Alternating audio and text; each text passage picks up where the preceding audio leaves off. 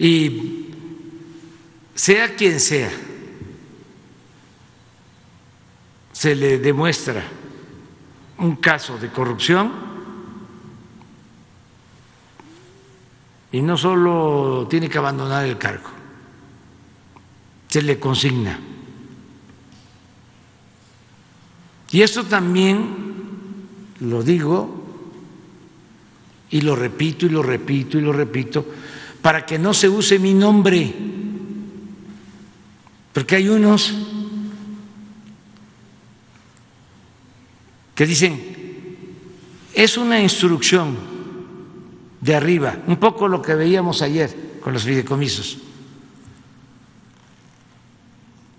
por instrucciones de arriba.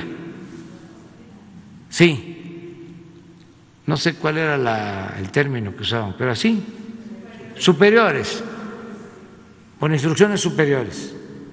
Yo no mando a decir nada, yo los cito cuando se trata de un asunto que nos importa y de manera directa. Es más, yo creo que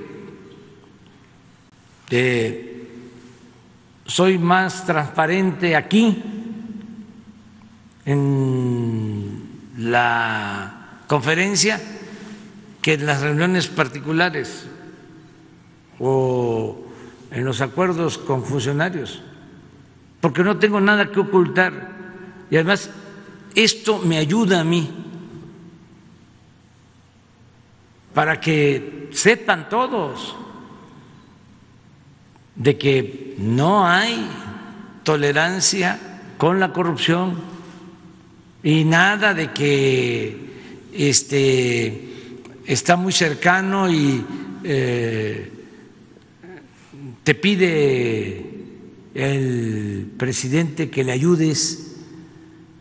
O si este